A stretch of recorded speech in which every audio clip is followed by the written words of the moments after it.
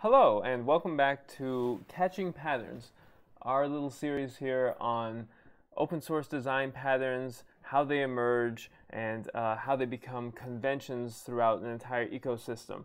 Uh, I'm your host, Mahmoud Hashemi, and today we'll be picking up uh, right where we left off last time, in the middle of the Boltons uh, open source utility library, a little library that I wrote and continue to maintain to this day. Um, we were in the middle of cache utils actually, and uh, if you look here, uh, we were about to look at the LRU. Now you couldn't see this last time. All you could see, I think we left off right here. All we knew was that the LRU, which is the least recently used uh, cache, uh, inherited from the LRI, uh, or least recently inserted cache. This didn't used to always be the case. This was a recent refactor and uh, led to some interesting discoveries uh, that you know we sort of partook in together, you and me. Uh, anyways, um, but yeah, big thanks to Cameron for that refactor. I'd forgotten until I started recording, um, but as I think you saw, it was pretty clear and straightforward, good software all around. Um, but yeah, today is about the LRU, and uh, I think uh, you're gonna like the twist on this one. But basically, as we look at the doc string here, we have the args, uh, max size, values, on miss. Um, these should all be familiar if you saw the last uh, entry. Uh, we got a little example doc string uh, in our doc string here. It's a doc test. Uh, you can see that um, we add a couple of values to the cache, uh, which has a max size of 2. When we go to add the third entry in that cache, that first entry is long gone. So, um, you know, this cache is also instrumented with statistics. We talked about that last time. If you're going to do caching, always gather statistics. Otherwise, how are you going to know if your cache is working for you? Um, but uh, yeah, what's this right here? Uh, let's see. I mean, we got one method, and all of a sudden we're done with the class. And like I said, it didn't used to always be this way, but the LRU is actually a very small type looking at just uh, this level in the inheritance tree. The get item um, does that familiar uh, self dot get link and move to front of LL linked list, um, and that's about it. You know, everything else is actually covered by that parent LRI type. And that's because when you think about how an LRI works, an LRU uh, really only has this one semantic difference. So this is one case where, you know, we talked about it at length, but this is one case where inheritance, that classic, you know, pattern of yore, uh, sort of slightly maligned in, uh, you know, today's modern software development process, uh, actually has uh, demonstrated its value. Um, you know, the LRI is a sizable class and it inherits from the dict and a lot of work went into making it be a you know suitable inheritor to the auspicious dict type. Uh, and then the LRU, all it had to do is swing in and slightly change the get item behavior. It's locked, moves it to the front of the linked list, collects some statistics, and then returns the value. Really nothing more to it. Uh, so while I could end the episode right there, there's actually a lot more to the cache utils module, but I just want to take a quick moment here and just appreciate inheritance actually doing a little bit of something positive for once. so um, yeah, we'll probably do an episode on this later, but uh, you know, lest I come across too much a fan of inheritance, inheritance as an API for your library users is not quite as some, much something to be celebrated. All right. Okay, so now that we've appreciated the brevity of LRU, I think we're ready to look at the rest of the cache utils module. Because, uh, you know, if you look, we're only about 40% through the module right now. So uh, there's a lot more to be uh, appreciated here. All right, so in last episode I talked about how uh, basically the LRI and LRU being the premier cache types in uh, Boltons cache utils are actually sort of cribbing some stuff from the uh, Python base, uh, like, you know, standard library, LRU, that is in funcutils, or func tools, rather. Um, so in Python 3, they added LRU to the standard library, except it was added only as a function decorator. And so it would cache the input and output of that, uh, or make a key of the input, as we'll see, and return a cached output in the appropriate uh, situations. So yeah, Python has this built-in one, but I kind of wasn't a huge fan of the API there because I had all these other applications for caching, um, and I didn't really feel like rephrasing them into be into being function calls. I wanted that classic Python mapping dict sort of interface. Um, but that said, making a uh, function cache is a super common use case. So that's where sort of I had to go looking at uh, Raymond Hettinger's approach in the standard library and sort of um, bring it in with maybe a couple of innovations. I feel like I changed something, but I don't really know for sure. Uh, I'll leave that as an exercise to the reader. But uh, right now, let's sort of appreciate here uh, yet another application of uh, a pattern that we saw last time, but with a slightly different twist here.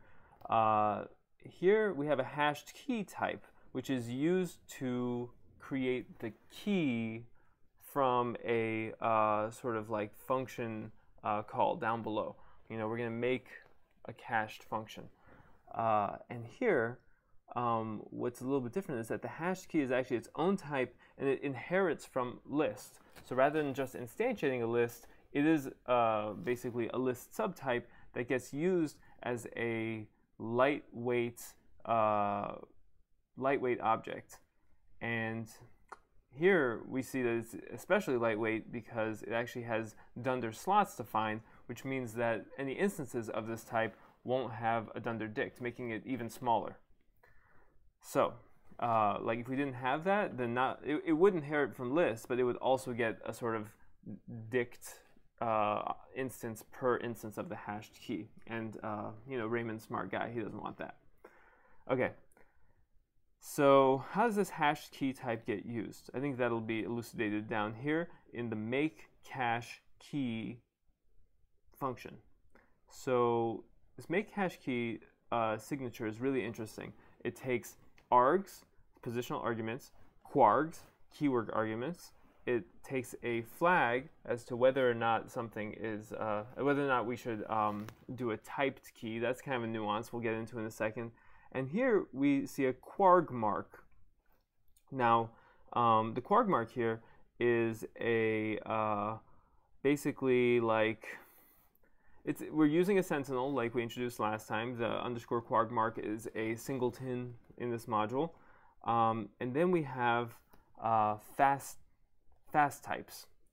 Um, so yeah, fast types is pretty interesting. I think we'll see how that works below. Um, keep in mind that these are basically all, like if you sort of look at these, you can get a sense for what they are. This is a set of immutable built-ins, ints, strings, frozen sets, and none. Uh, we could probably expand that list, and that's sort of why I think it's an argument here. Although that could also be for performance reasons. Raymond likes to put a lot of stuff in the arguments.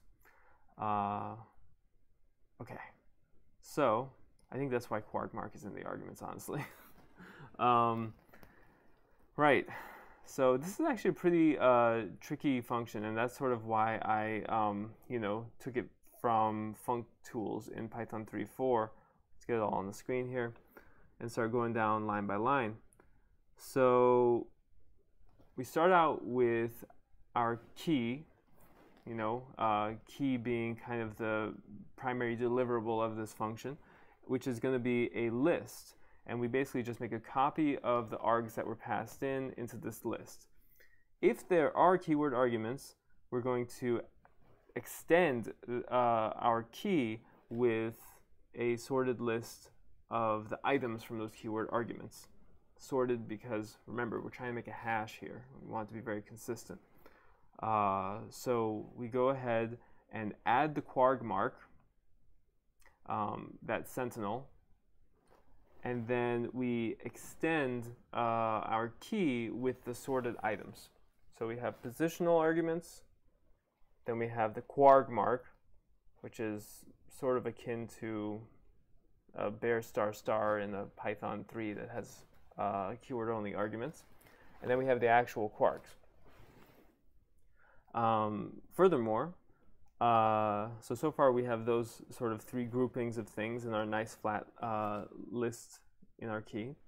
Uh, and then, if it's uh, typed, then we're going to basically slap all the types of all the arguments and so forth onto the end of that key.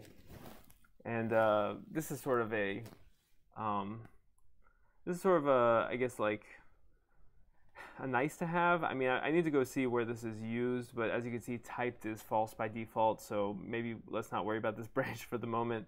Um, I think it's pretty straightforward in any case.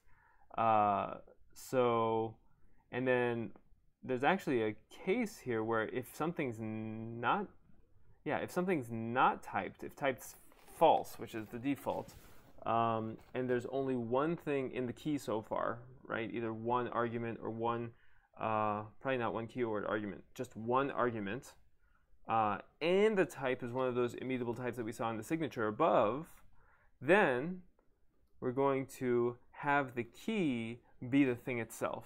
The point of a hash is we want something immutable uh, that is, you know, highly reproducible, and if something's immutable, then it's already that thing for us. Um, but in any case, if it's not one of those fast types, we're going to use that hashed key type that we saw above, and we're actually going to um, pass uh, the keys that we get, the, the key items that we gathered so far to that, and it'll compute the hash value for us. So let's pop back up to that hashed key and see how it gets used. Looks like it, it uh, basically copies all of the values of that key list that we passed in into itself. This is kind of funky looking, but uh, basically makes a copy of everything in that list into self. It's very, it's kind of rare that you see that notation. Um, but that's a that's a list copy right there, and then it uh, computes the hash using the hash function built in. Um, it's not cryptographic hash; it's just a uh, you know hash that generates an integer, and and it got that integer uh, from hashing a tuple copy of the key. So um, turns that list into a tuple, hashes that, saves it as the sole attribute of this hashed key lightweight object. All right, so uh, yeah, uh, basically that's how make cache key works. And now that we have a way to make a cache key, we're finally ready to make that um, cached function in the same way uh, that like the Python built-in uses cached functions. So uh, Python like standard library, I should say, not the built-in. Uh, okay, so this cached function uh, type here just sort of stores it, it. This cat, I mean, how else to explain this?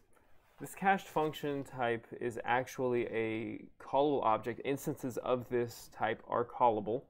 And then um, basically uh, you can use it directly if you want. You can see it's a public uh, thing, but it's a little bit tricky to use.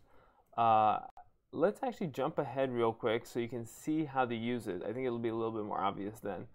Um, so, right. So, like I said, we're making a decorator uh, that has all the functionality of the FuncTools uh, standard library LRU cache decorator, but we are making it so that you can sort of swap in any cache type you want. In this case, LRU or LRI, and um, anything that sort of matches their uh, dictionary uh, interface. So theoretically, you could probably pass in a normal dictionary. But um, you instantiate your cache, and then you pass it into this cached uh, function decorator here.